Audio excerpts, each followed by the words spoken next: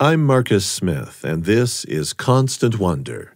Join us on a quest to find awe and wonder in all nature, human or wild, vast or small, encounters that move us beyond words.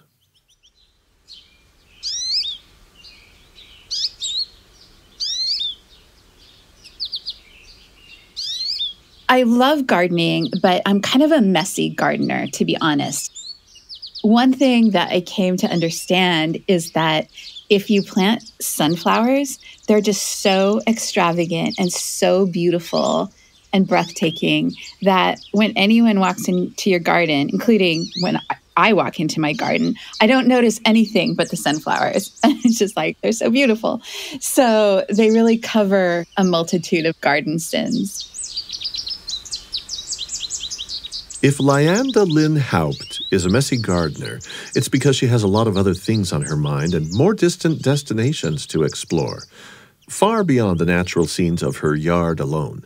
She's a naturalist, a writer, an earthbound, plant savvy, animal loving philosopher. Among her many books is the 2021 title Rooted Life at the Crossroads of Science, Nature, and Spirit. With that word crossroads, She's actually talking about the intersection not just of science, nature, and spirit, but the intersection of hope and danger, beauty and risk. If we are going to put ourselves in the path of wonder, then we're also putting ourselves in the path of the terror or the fear.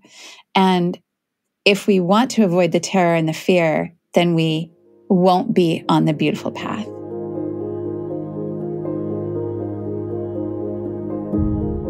In this episode of Constant Wonder, a conversation with Lyanda Lynn Haupt that will touch on the fear and trepidation we often feel when we experience the immediacy of nature. We'll explore how our experience of wondrous beauty can entail inherent risk. Lyanda Lynn Haupt is well aware of this palpable tension. It's a feeling you can get in the presence of goldfinches or mergansers, holding snakes or frogs, in the shadow of mountain or forest, in direct bodily contact with soil, meadow, or stone. The big question for us in this episode is simply how comfortable are we, as the expression goes, in our own skin when our skin comes into literal contact with the biosphere, atmosphere, and geosphere around us? What are we emotionally willing to brush up against, and for how long, in a wild world that we have neither domesticated nor subdued?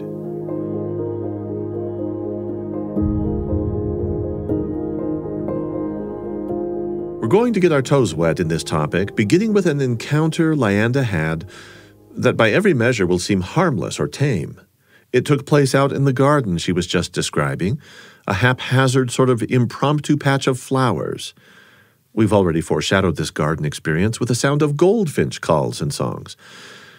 After propagating an explosion of color with sunflowers one year, she reaped a surprising harvest, including a magical, mysterious moment that left her in awe of what she calls wild knowing. It all happened because that year, anticipating an itinerary that would leave her far too busy for all the time that vegetable gardening demands, she quite nearly saturated the soil with sunflower seeds instead. I thought I am going to create a sunflower forest. and that's what I did. And I had the different kinds, you know, the teddy bear sunflowers that have all the little kind of ruffled petals, and then the ones that they rightly call mammoth sunflowers because they're much taller than me, which isn't actually that impressive because I'm not very tall. They're they're just huge and their faces are just so wondrous and they curve in different ways. And then the ones that are different colors, the kind of rose colored and darker golden colored. And it's later summer. Sunflowers are grown. The sunflower seeds, you can see them. They're instead of just looking like a random middle of a flower, they're starting to look like actual sunflower seeds. And I was sitting on my back deck writing, and from the sky, there dropped a goldfinch vivid yellow goldfinch, and then another goldfinch, and then seven, and then 20, all within the space of just a few minutes. And they went to work eating the sunflowers. seeds in the mammoth sunflowers, starting with the big mammoth sunflowers. That moment in time is one that I had never conscientiously witnessed. I'd seen the goldfinches eating the sunflower seeds every year, but not the moment when they first just descended from the sky. And it hit me that somehow there must be a kind of knowing among them about this exact moment of ripeness because no one else had been to eat the seeds either. The chickadees, the squirrels, they are rampant eater of the seeds as well, but they hadn't shown up. So here was this wild knowing among the goldfinches of the moment between not quite ripe and just perfect. And it just struck me that this wild knowing was something that if I had access to it, I, I, I, don't really pay attention to it. And I thought, here they are as kind of mediators between the seen and unseen. I, I didn't really know how to take it, but I know that I was delighted and kind of felt invited into the mystery of that moment. Something strikingly similar happened at the Smith home when my wife and I uh, we bought our first home a decade or so ago, and we got some chickens.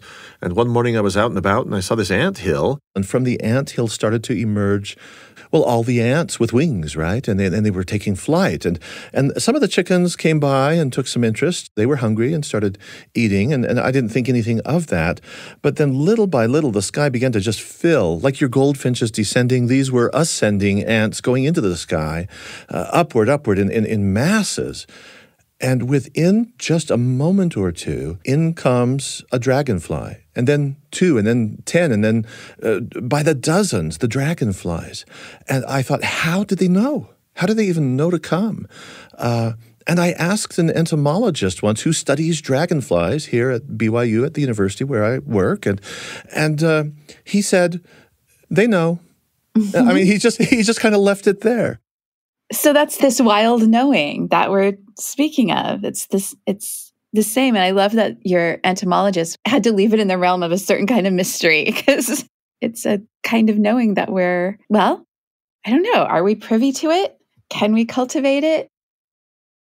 Ever since watching those goldfinches that day, I've wanted to put myself in the path of that kind of knowing more and more. And just with the kind of moments that occurred just in these stories that we're sharing. I saw it as an invitation to just be more observant, to just see when I can witness that wild knowing and how I can more and more enter into it. And I think that there are stories within all of our lives where where we can have those kinds of encounters if we're just open to them and we can't plan them, we can't find them, but I, I think we can be open to being present to them we can put ourselves into the path of possibility by maybe leaving our home or going outdoors, I guess, for starters. Path of possibility. There's elegance in that phrase, and for me, there's something beckoning about it as well. Lyanda Haupt is describing the response many people have, the experiences many are inclined to pursue when offered a chance to be in very close proximity to nature and with nature's wild knowing. What we encounter depends, naturally, on the relative safety or danger of the paths we explore, and we never know the end from the beginning. Watching the sudden arrival of goldfinches or dragonflies, that seems safe enough for the person who happens to be there at the right moment to witness it. But what if the path of possibility is more precarious? In a moment, we're going to walk with Lyanda along a path of exposure to possible harm in the Mount Rainier wilderness, far from the safety of her garden. To set the mood for that wilderness experience, I invited her to share with us a recurring dream she began having a few years ago. It was a dream that left quite an impression on her, and it had to do with taking paths of possibility, unknown paths in dark forested places. Are you the kind of person who frequently dreams? I do frequently dream. And the more I pay attention to my dreams, the more, I won't say the more dreams that I have, because I don't think that's true. The people that study dreaming say that we're, we're always dreaming. But the more that I tend to them by trying to remember them, by perhaps recording them, the more aware I am of my night's dreaming. So, what did you make of the idea that you would be in your dreams in forests, on pathways, and moving through those woods and finding smaller and smaller uh, forks in the road and, and moving down those? Well, you know, Marcus, one of the elements of that dream was what I was wearing in the dream. And that is what I focused on even more than the paths, because in the dreams, I was wearing a red hood. And it made me think of the myth of Little Red Riding Hood. And so that's actually where I focused my ponderings about that dream. I went to the library and I, I got all the children's books about the tale of Little Red. And I went to the university library and got as many academic papers I could find that were unpacking the mythology of that tale it's no wonder that I kept having that dream because by now at night I was putting myself to sleep looking over these books with all the different artists' versions of the tale. One of the things that I did, besides all of that, was find a knitting pattern that was called the Dragon Watcher's Hood, and I knit it in red. the pattern specifically said that you should tie a bell to the end of the point of the hood since it was a dragon watcher's hood and you don't want to be startling sleepy dragons. well, certainly not. I thought that was really good advice. but where that led me was just it allowed me to sort of put myself into that tale really fully of wandering these paths and the element of the story that started to draw me more and more was the wolf the dragon in this story The wolf in Jungian mythology is the predator, and the predator is the thing which lures us away from our highest good. A quick aside here Lyanda is referencing Carl Jung and what has come to be known as Jungian mythology and Jungian psychology. This renowned Swiss psychologist had a thing or two to say about dreams. Dreams can be an avenue, he theorized, by which the subconscious sends messages to the conscious mind helping us process challenging issues that we perhaps are prone to sidestep during our waking hours.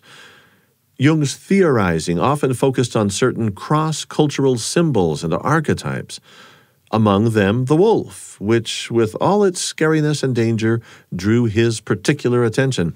He held that a wolf showing up in a dream is a threat we will either engage or disengage with. What would Lyanda's choice be? And so in Jungian psychology, we learn to avoid that predator as part of our maturation.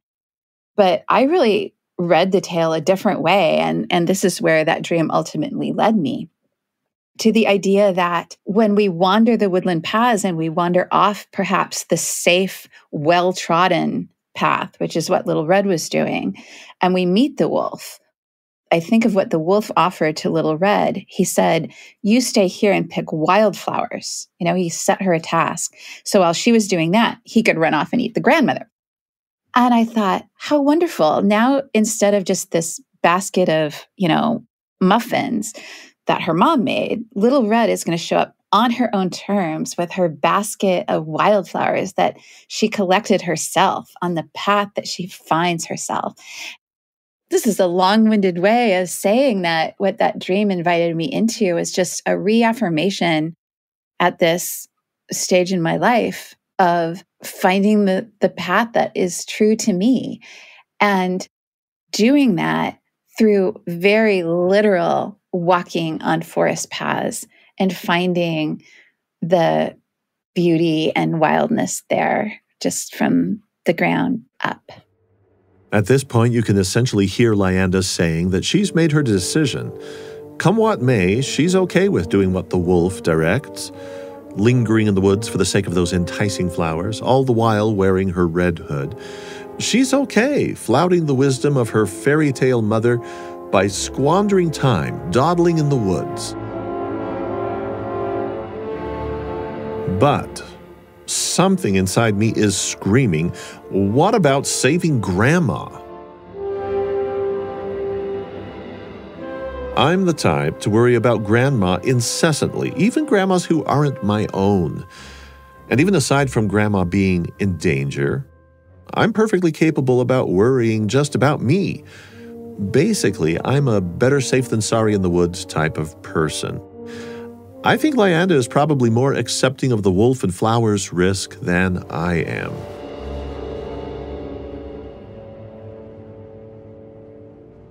You've been known to go camping all on your own, solo, in places where there are living, breathing, eating wolves, or at least you imagine them in your tent while, while you were going to sleep. This is on the slopes of Mount Rainier. You're solo, you're doing some alpine backpacking. So, wolves were extirpated from Washington state in 1918. And although there are some sort of wandering back they haven't returned to Mount Rainier yet, though there used to be gray wolves there, and I hope there will be again. But what there were are black bears, cougars. Those are the things that I'm not really worried about black bears, even usually, unless they're really acclimatized to human presence. They're pretty shy creatures. But mountain lions are a different story altogether. And then, Marcus, I'll tell you honestly, and I don't think I'm alone among women in this, the thing that I feared more than anything else was a man. right. And even being that far out, where the, the instance that you're talking about was one where I was so far away from humans, I didn't expect to see any, but that's probably the biggest fear in the even in the wilderness. Well, going back to Red Riding Hood on the, the forest path, I'm no interpreter of dreams, but you have had to grapple with fear and uh, can I call it anxiety at the very least, but maybe out and out fear about everything connected with your attempts to be out on that pathway you were talking about. You said put our, put ourselves on the pathway where we might see that wild knowing or the goldfinches or beauty or anything uh, of awe and wonder. And to do that, you have to pay a price, it seems. Right. And and I think you're absolutely right. You have to honor risk and also be in the path of a certain kind of fear. And anxiety is a little bit different. In the daytime, in the solo camping, when everything is ideally in the sunlight. I was going to say in the sun because I'm looking out upon a sunny day right now as we speak, but it's the first sunny day in a long time. So here in the Pacific Northwest, you're just as likely to be in a gray and misty day, which is also beautiful in its own right. So when it's daylight, I don't really struggle with fear like most of us. It's when night falls and we lose our bearings and we can't necessarily attach sounds we hear to things that we see.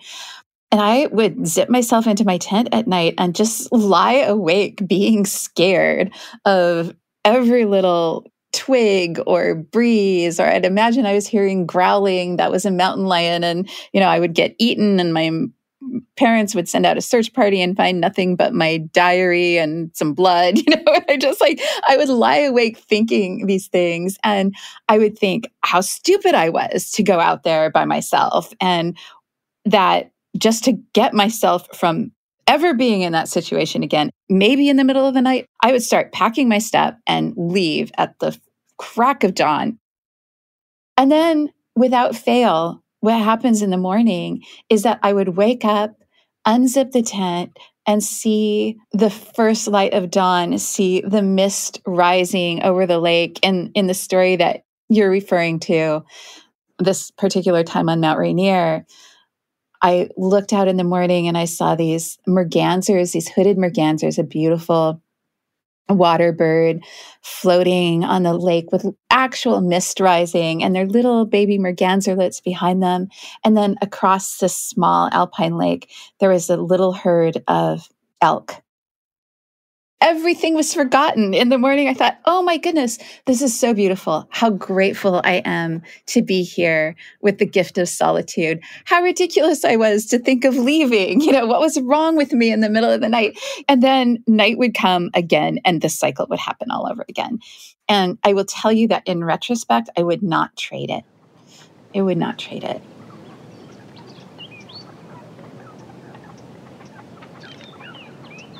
What I did learn over time is that I could comfort myself in the fearful darkness and what Buddhist teacher Joan Halifax calls the fruitful darkness. I came to think of those as being twined together. But when I was really afraid in the night, I could think, okay, you've been through this before. You know how this goes. And it didn't make the fear go away, but it was still a source of comfort. Compounding this is the fact that you've never had very good night vision. Oh, that's right. And sometimes, yeah, I'll be driving with friends now or walking with friends. And I have to tell them it's not because I'm getting old. it's always been like this. I've never been able to see very well in the dark. That's true. You're listening to Constant Wonder. Lyanda Lynn Haupt is a naturalist, a writer, a gardener, and not infrequently a solo camper and hiker, all the real or imaginary risks notwithstanding. She's author of several books, including Rooted Life at the Crossroads of Science, Nature, and Spirit. I'd like you to take us to Minnesota. I believe this is up near the boundary waters, near the Canadian border. You're working as a young woman at an environmental learning center, mm-hmm. and you determine that you want to do something to try to compensate for your, your poor night vision, and you're going to practice. That leads to another, what could be a very fearful encounter. Uh, for me, it would be. I've been face to face with a moose before. I know the terror. I was working at the Environmental Learning Center, and it was way up at the edge of the Boundary Waters and, and Quetico. For a Pacific Northwest girl, it was a remarkable landscape in that it's a calm landscape. One of the things we had at that ELC was a lake, Flathead Lake, and it had a trail that went all the way around it, a flat trail, maybe three feet wide, flat dirt trail. And I thought, this is the perfect place for me to become comfortable with the night and with my lack of night vision. I knew that I couldn't truly improve it. I don't think that there's a way to do that. But I could maybe, I hope, become more comfortable with it. And so I decided to do this experiment on myself, see how it went, where I would go out after dark and walk this trail every night. And I would wear moccasins on my feet so that I could feel the earth beneath my feet and learn from that and maybe kind of orient myself in that way. But I didn't take a flashlight and we didn't have cell phones then. I felt safe enough because there weren't many cougars there. There are wolves in northern Minnesota, but we weren't aware of any on the property. There were white-tailed deer and there were moose. And I also told my friends what I was doing. So they, you know, knew where I was and I, there weren't any cliffs I could fall off of or anything like that. So I felt okay about it. And like we, we were talking about, there's a little bit of risk, but it seemed like a, a worthwhile balance for me. So, may I interrupt for just a course, moment because yeah. it's it, it's one thing to be going out there and saying I'm going to be more comfortable with the darkness, mm-hmm. with my vision the way it is, with this trail, uh, I'm just wondering if it was more than that. If you weren't encountering the wild because it was wild and because it wasn't it wasn't safe. It wasn't fully safe. You know, I think as you say that, Marcus, there was definitely an intertwining of our metaphorical sense of darkness and the actual darkness. And I think you're right that my younger self was putting herself in the path of both of those things. I think you're right. It would be ignorant to not be cognizant of the ways in which what I was doing were potentially risky, potentially unsafe. And I think that fear can sometimes be an indicator of good common sense. sometimes the lack of fear is is really equated with a lack of common sense. You know, I've paired two stories here intentionally because one of them is the young Lyanda in her earliest years going around the lake in Minnesota. And then we were just talking about Mount Rainier and being terrified in the tent at night. And you just keep punishing yourself. you know, I I just it's so funny because I obviously I was intentionally and continue to intentionally choose times of solitude in wild places. And I just, I don't think of it as punishing. I think of it as the most beautiful gift that I can offer myself. So I hadn't even thought of it in that way. I mean, I guess in the in the moments, like I said in the middle of the night, when I say, "Why am I doing this? I'm never doing this again." And then that just passes so quickly. So, learning that lesson over and over again about that the fear is just really an acknowledgement of vulnerability and giving up some of our protections is very powerful sometimes. So come face to face now with that moose at the Flathead Lake. Right. So so one night I was walking around the lake everything seemed to be going just normally. I was getting accustomed to walking in the dark. I was getting comfortable with it as I predicted I would. Part of that was just coming to know the trail really well with my moccasins, my feet, kind of knowing where every root and stone was going to be. And one night I was quite near the lake and I heard this big, like, kerplosh. It was just this really loud splashing sound. And in the lake, there's a giant, I mean, beavers are really huge, but we had a particularly large beaver who is blind in one eye. And I thought, oh, maybe that's him. And I thought, ah, he's not usually making that loud of a sound this late at night. And there were a lot of white tailed deer around, and I thought that that's what it was. But soon I heard this again, this clump, clump, clump. And there in the in the night, I could see the shadow really close to me, just a few feet away, of a moose so the moose had no antlers. And at that time of year, I knew that was probably a female moose. And I thought, oh my goodness, okay. I had learned about moose living on that land and what all of the native Minnesotan people told me was that they're really unpredictable. You don't want to get too close to a moose. You don't want to, you know, take their seeming calm for granted. And if you see a moose, you should leave. But here I was in the night, and here was this moose. And I was so curious, like what was going to happen next. The moose was just holding really still. And so my naturalist, the naturalist part of my mind and the moose curious part of my mind was thinking, wow, this is a rare opportunity to be in proximity to a moose in the beautiful darkness. You should stay. And then the rest of my brain was going, run, just leave. So in my brain, it was going, stay, run, stay, run. And as that was happening, the moose sort of determined what was going to happen next. She started painstakingly folding her legs under her body and descending to the earth. It took a long time. I, I think of her as sort of kind of an elaborate cat sitting down and tucking her big knobby knees underneath her. And eventually she's sitting on, well, I think of it as lying on the ground, but you know what I mean, like resting on the ground with her head up. And I just thought, okay, well, if this moose, who clearly sees me, is just going to hang out, then I'm going to follow her guidance. So I took myself and I also just very quietly on the other side of the path sunk to the ground it was one of the most magical moments of my entire life. I'm sitting there in this beautiful semi moonlit night on the lake with a moose, and both of us are just sitting there quietly together. And she has these, you know, long lashes like like a moth's antennas, and she fluttered them down over her eyes. And I can't honestly tell you how long I was there, but I'm going to say at least 20 minutes. And possibly more. And I just sat there drinking in that rare, gorgeous moment until I got so cold that I was shivering. And I got up, and it seemed in the moment somehow impolite of me to cross in front of her. And so I just stepped back and I went back quietly the way that I had come. How, how far were your noses apart? Our noses were five feet apart, maybe six. It's been years since this happened. Yes. But relive it for me. What was going through your mind once you had settled down, the moose had settled down before you, you had made the decision to stay.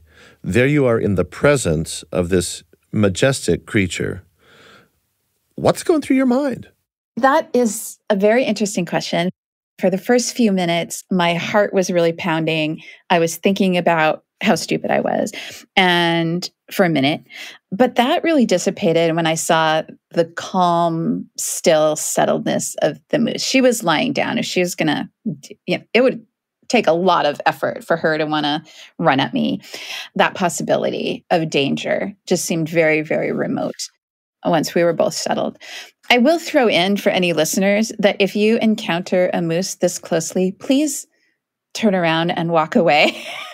yeah, we need a disclaimer here. I don't want any lawsuits. Please use your common sense, which in the first moments at least when I when I didn't leave right away, I was I was not. I was kind of overwhelmed also. But the smart thing to do and the thing that I would advise all of us to do is to quietly take ourselves out of that proximity. And I also want to say further on the note of disclaimer is that my proximity to the moose was accidental. I would never have intentionally approached her that closely. Right. Um, I was standing on the trail and she came up to the edge of the trail in the in the darkness. So all of the disclaimers. But once I was sitting there, my mind was very quiet. I don't remember thoughts going through my head other than the sense of incredible peace, a sense of gift at being so near to this creature, and for her allowing that nearness and for her choosing that nearness. It felt like a prayer. It just felt like a quiet, meditative peacefulness. My mind was not spinning after the first minute or two. It just rested in the sweetness and the silence and the darkness. The darkness, which is what allowed that encounter. This would not have been possible in the daylight. I have a story that will disrupt all that sweetness and the calmness. okay. Um, uh, it's about 18 months ago. My son and I were up a, a Western Canyon here in town called Rock Canyon. How old is your son? Uh, he was uh, at the time 13. Mm-hmm. Uh, we've been hiking up maybe a mile and a half or two, and it was time to come back home. It's just right on the outskirts of the city, actually, but it's very, it, it's fairly wild, I would say. Mm-hmm. And uh, I'm talking to him about the podcast, Constant Wonder, that uh, here we are uh, talking on. And I'm explaining to him some of the philosophy of why are we doing this podcast anyway? Mm-hmm. And I started talking about awe and wonder, and then this word sublime. And I said, you know, people use that word sublime very uh, fast and loose because they think it just means a, a, superlative. It's just, it's wonderful, it's great, it's sublime. I said, actually, it has a, a different meaning historically, where it's where there's dread and there's fear, there's horror involved in the sublime at times. And at the moment I was explaining that concept to him, at the very moment, he looks to my left and grabs me by the arm and says, Dad. And not six feet from him, oh, I'll give you seven or eight feet, uh, he uh, out darts a, a bighorn sheep mm. that was bluff charging him. Wow. And and got so close to him that as the, the this ram passed him and me, he could have reached out and, and swatted its rear. It was so close. And that was one of the best, worst moments of our lives. We were shaking, we were trembling, we were full of fear, we were exhilarated. Did I destroy your peace with the moose? No, no, not at all. Um, because as I said, I mean that that's how it started out. I was terrified of the moose, and I just sort of thought, okay, what's going to happen now? And rode that sort of medial time into what became calm, but didn't necessarily have to end that way. And you, you know, what you describe, I'm thinking there's that Greek concept of deinos, the terrible wonder, which speaks to the way that you're describing the sense of the sublime. And it seems like we can't meaningfully, I mean, in these stories that you and I are telling, it's hard to separate them out meaningfully, right? And if we are going to put ourselves in the path of the wonder or the beauty, then we're also putting ourselves in the path of the terror or the fear. And if we want to avoid the terror and the fear, then we won't be on the beautiful path. Literally, that's what we're talking about actual pathways. And that seems like a hard trade off to make, or one that I'm not willing to make.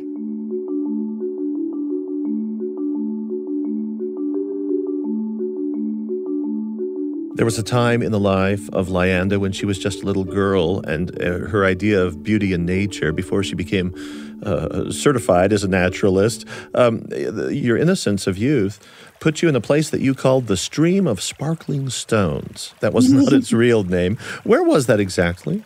So I grew up in Kent, which is a town outside of Seattle. And in my backyard, there was kind of a, a, wooded ravine or a canyon. And in the bottom of that canyon, there was a stream. And it was actually called Mill Creek.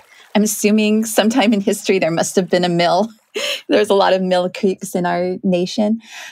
But I spent a lot of time down there and I would just bring my sketchbook. I love to draw and write, bring an apple and just hang out down there, just just out of reach of my mom calling me for dinner, plausibly. I could probably hear her. And if I was hungry, I would hear her. And if I wanted to stay, I could, I had plausible deniability. Couldn't quite. And about how old are you at this time? Uh, about 10, you know, in that, that region of life, eight yeah. to 12, several years of my life that I was spending down, um, having, taking some solitude by the stream. I did have friends too. I don't want to sound like a super totally weird introvert. I love to go hiking with my friends. I loved I loved hanging out with my friends when I was young, but I also have that introvert's need for solitude. And well, the reason I bring this particular venue up from early on in your life is because this is at a time when maybe you had a fairly naive view of how everything about nature would just be sweetness and light and wonderful and and, and harmless. And you were attending church at that stream, I understand, uh, informal church. Yeah, I would go and hang out by the stream and I started to see the frogs in the stream because there were a lot more frogs than there are now back then. And i started to see them as as my congregation. And i would just eventually kind of lie on my back there in sort of the muddy stream side. And you could enter you know even as a child we enter into these sort of medial states of consciousness where you know the, the leaves are kind of twinkling overhead and there's dappled sunlight between them reaching to the forest or the woodland floor. And the frogs were so close. You know how they do that thing where they're just sort of suspended in the water with just their eyes yeah. over the top of the water? And what i learned is that i could reach behind them with my hand and just sort of slowly slowly lift them up I didn't know then what I know now, which is that frogs have very, very good eyesight. Um, they have actually the best night vision of any animal on Earth. So they could see, and they also see things that move quickly, most readily, because they're looking for prey. So they're not as attuned to things moving really slowly. And although I didn't know that then, I learned by experimentation that if I just slowly slipped my hand under them and lifted slowly from beneath, that they would just rest quietly on my palm. And I could feel that strange breathing they have with those kind of round, cool bellies. And I would transfer them to my own belly. So I'm lying on my back by the stream, scooping up frogs, putting them on my belly, sort of having this moment of childhood prayer, being a kind of weird spiritual kid in the woods. And I started to think of it as my church, my frog church. Thanks for being with us today for Constant Wonder. I'm Marcus Smith. We're speaking with nature writer Lyanda Lynn Haupt with an eye towards some of the important themes from her book Rooted Life at the Crossroads of Science, Nature, and Spirit. And in a moment, we'll also delve into her experience of living seven years with a starling.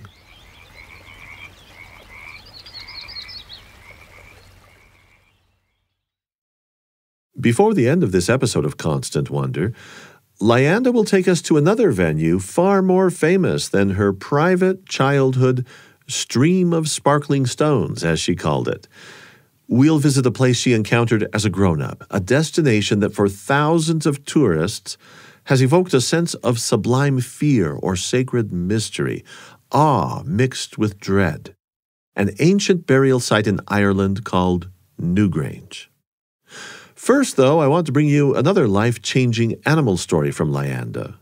It's something highly unique she got to experience as she has made decisions all along the various paths of possibility.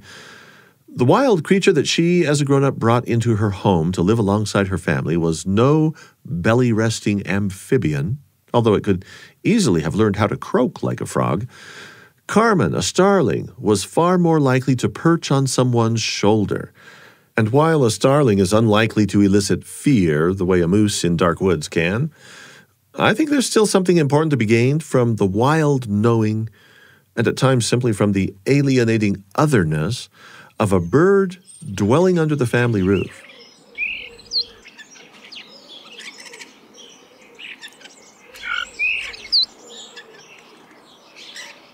Several years ago, Lyanda Lynn Haupt wrote a book titled Mozart's Starling.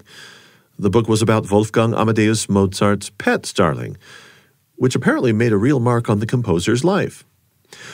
While writing that book, Lyanda became aware of a nest of newly hatched starlings not far away from her home, all of which were about to be exterminated. In North America, starlings are a hyper successful invasive species and don't get much respect. Lyanda went to the nest, adopted a little member of the brood, and this little fledgling she named Carmen would figure into her background research for the book and the two became fast friends. In fact, this starling became a central figure in the household.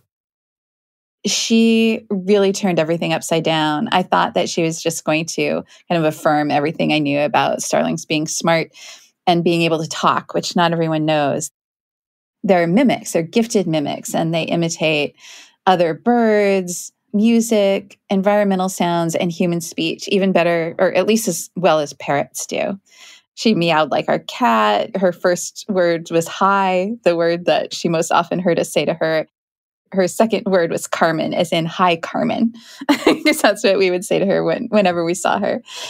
Her intelligence and her sweetness, I'm going to say, she was always wanting to be on us and with us and involved in whatever we were doing in a way that you could only refer to as friendliness really changed my perspective on I mean this is the most hated bird in the country. Not everyone knows that. They were introduced from Europe in the early 1900s and then their numbers have grown so vastly. They are a threat to native birds. Conservationists hate them. They eat agricultural fields so farmers hate them and they're just considered to be generally pesty so to see this really sublime, I'll use that word, composer, to be so inspired by this hated bird, and then to have this dear, smart, friendly creature in my household was just eye opening. Would you share with us the anticipatory ability uh, uh, of a starling to to know what's going to happen before it happens and announce that the microwave is going to go off or that sort of a thing? Okay, so this is something that it took me way too long to figure out. And I felt really stupid when I did. But one day when Carmen had been speaking for at least a year, she'd grown all the way up and she was developing her repertoire of mimic sounds. I came down the steps. I'm always the first one to get up. And I stepped into the room where her aviary is. And she came out of her aviary often and flew around the house freely. But for her safety, of course, at night, she would be closed in. So I, I sneaked down and she, in a whispered voice, said, Hi, Carmen, like I would when the house is asleep.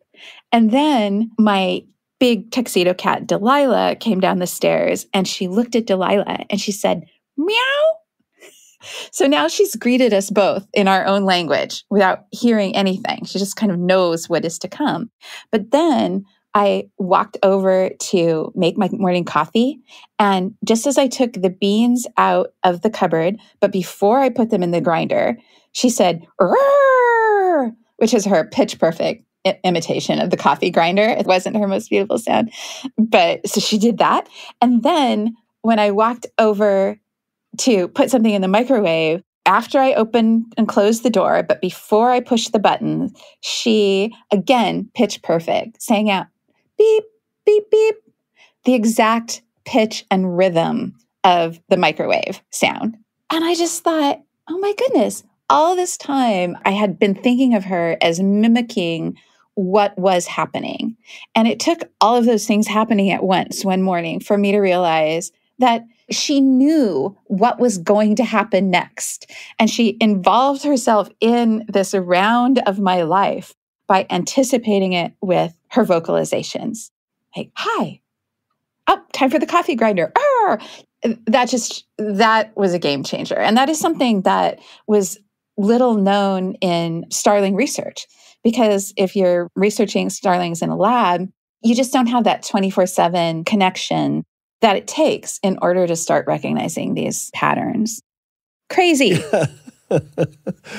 if Carmen's most beautiful sound was not the coffee grinder, what was her most beautiful sound? Hmm, what was her most beautiful sound? there was a fountain outside her window, and she would mimic sort of the murmuring of the water. It was still a little bird like, but it was also watery. And I thought that was a very, very sweet sound once I knew what it was, because she would make all these vocalizations that I knew she was, she'd work on it for a while. She'd practice her mimicry until she got it right. And sometimes, if it was a natural sound or a household sound, for example, she would imitate the creak in our old wood floor. This kind of, she would be saying, ee every day. And I thought, what is she, what is that? I know it's not a starling sound, it's something she's heard. And then one day when I was walking past her aviary, I stepped on this part of our, our oak floor and it went ee, and then she said it again and i thought all right there we go so it was the same thing with the murmuring water i opened the the window i heard the sound and then i heard her start sort of gurgling along it was the sweetest thing what's the longevity of a starling typically in the wild and how long did carmen live in captivity? So carmen died when she was seven years old which is a good age for a starling. A starling in the wild can live up to six or seven years, but that would be an old starling in the wild. So four or five would be a good age for an adult starling. And as soon as she turned four, I just started worrying about her almost every day. But starlings in captivity have lived to be 15 years. That's a, a number that's thrown out as sort of an outside outlier. That would be uncommon. And I was doing a reading once in the Bay Area, and there was a woman in the front row. And when I was reading a poem that uh, Mozart had written for his starling, she started to cry. And I stopped and I, you know, checked in to see if she was okay. And she said, Well, you know, I had a starling and he died a year ago. And I thought, wow, she's still crying about her starling after a year. That's sweet. And I asked her how, how old her starling was. And she said, he was 24 years old. Oh my. oh my goodness. I thought, what have I done? I do I have to provide for this starling in my will? I don't know. but Carmen had a good life and a seven is a good age. Yeah.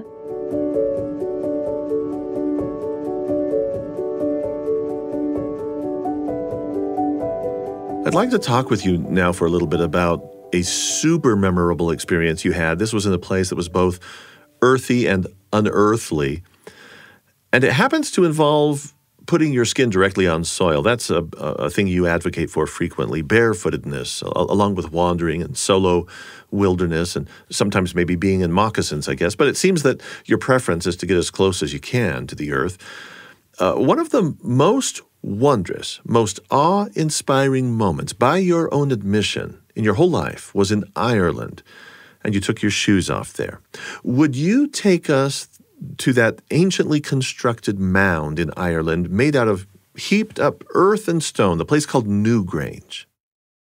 So, Newgrange is this huge, circular, low to the ground stone megalithic site with graves in the interior. And I was so blessed to be there on a day that the sun was shining.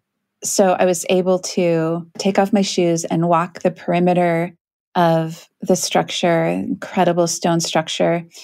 And when I went into the interior, which you can only do with a guide, and I was a little bit worried. You know, some guides can be really chatty or they can just make lots of jokes and make your encounter with a deeply sacred place like that lose some of its weight.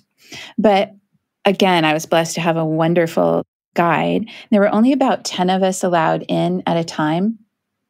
And she prepared us to look at the very eh, essential designs we don't know what the purpose or the meaning of these etchings were, but there are these beautiful designs etched into the stone. There's spirals, zigzags, some triangles, some arrow like symbols. And she, while telling us to be sure not to touch them with our hands, invited us to contemplate their meaning, but also said, and, and this was really significant to me, she guarded us against imposing our own sense of meaning or our own interpretation upon them. So we were allowed to take our shoes off before we went in. And there's a long, dark tunnel that leads you into a smaller, very cool, very dark space within. And she guided us there with her flashlight. We were not allowed to have our phones on or anything like that, any artificial light or sound. She guided us in with her flashlight while giving us just enough information. She was so respectful of the silence and sacredness of that place. And she turned off the flashlight and let us just dwell there in the darkness. And then she had some little switch that would activate a light that was outside that would show us how the interior temple would look. I call it a temple, the interior um, space would look on the winter solstice, because like many of these beautiful ancient megalithic sites, it was oriented to astronomical events and to the seasons. And Newgrange is especially known for having this shaft of light shine right into the interior on the winter solstice. So I'm there with my bare feet. I'm there with all of these incredible etchings and the knowledge that they were 5,000 years old. And I could somehow feel just this whispering visceral presence of women that had gone before me in this place, birthing, laughing, grieving, dying, burying their children, their mothers. And I got really nauseous. It's so, mm, so much spinning in my head that affected my stomach. And it just felt yeah, kind of dizzy and nauseating, but in a way that made it also feel very real and important.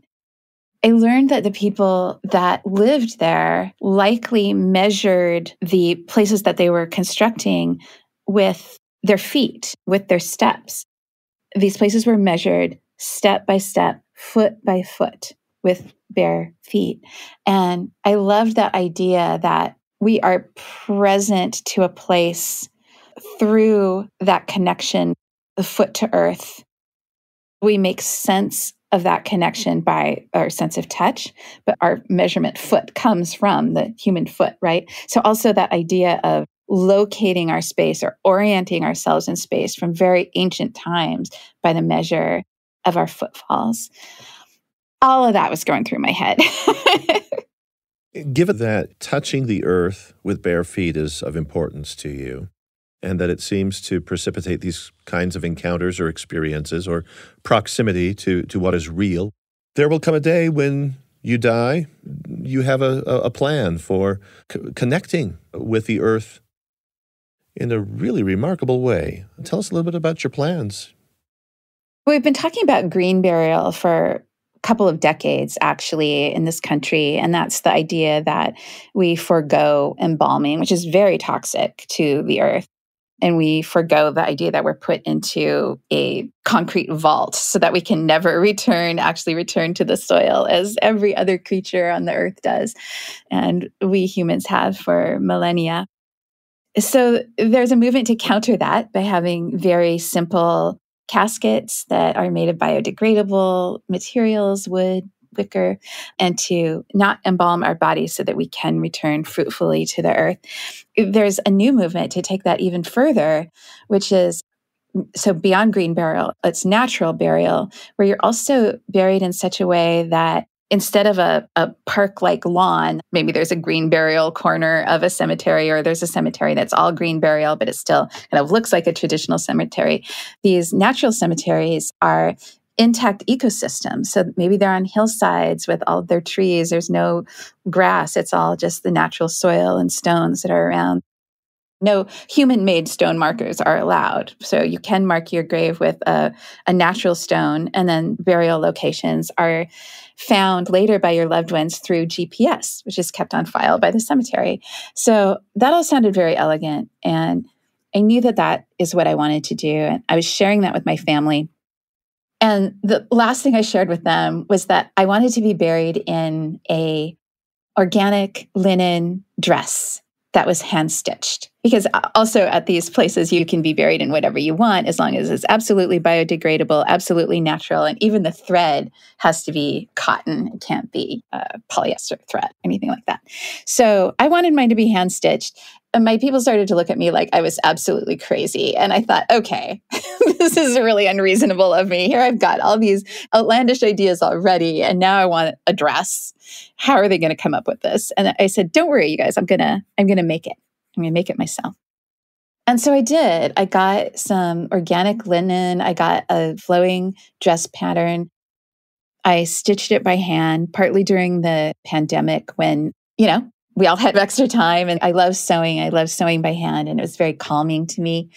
And I started taking it a step further by on the hem, I embroidered little quotes from poets in green organic embroidery thread our recent poet laureate Joy Harjo wrote, Remember the earth whose skin you are. And that was one of the favorite things that I embroidered onto this dress. And sort of to get the dress infused with the right spirit, I started wearing the dress now and then on walks in the woods, sort of to get that remembrance to myself. I think it's it's one that's important to me at least that death is where we're heading, right? And there's always that lesson of when you're in the woods, the leaves are returning to the soil, and the soil is made up of, especially here in the Pacific Northwest, Western red cedars are decomposing beneath our feet. That cycle of life is is very present. And you're talking about humans and humus. I am, right. And and humility. All the same root, yep. Of the earth, of the ground. It's all one root. And so I don't go around wearing my death dress, as my family calls it, very often, but just now and then, maybe around Halloween, pull it out and get that uh, sort of uh-huh. connection. So the dress has poetry? Any pictures on it? Oh, not yet. That's sort of a sweet idea. There are a couple little leaves, like I'll just embroider like a little, like ferny sort of vine at the end of a quote. But hmm, what could I embroider? What pictures could I embroider? What do you think? It's a work in progress. And uh, a goldfinch might be nice, but no rattlesnakes, please. Absolutely no rattlesnakes. or maybe I should, if I really want to confront these things, maybe that's what I should embroider onto my dress. But I probably won't because it's not an animal native to where I live. Maybe a coyote curled up in her den. We'll see. Thanks for listening to Constant Wonder. Our guest has been Lyanda Lynn Haupt, a nature writer based in the Pacific Northwest. Her book, Rooted, concerns the matter of becoming grounded, rooted in life as, as well as in death, eventually. The full title is Rooted Life at the Crossroads of Science, Nature, and Spirit. I'm Marcus Smith. This episode of Constant Wonder was produced by Eric Schultzka with help from Jenna McMartin, sound design by Mitchell Towsley, Dallin Jepson, and the BYU Radio sound design team.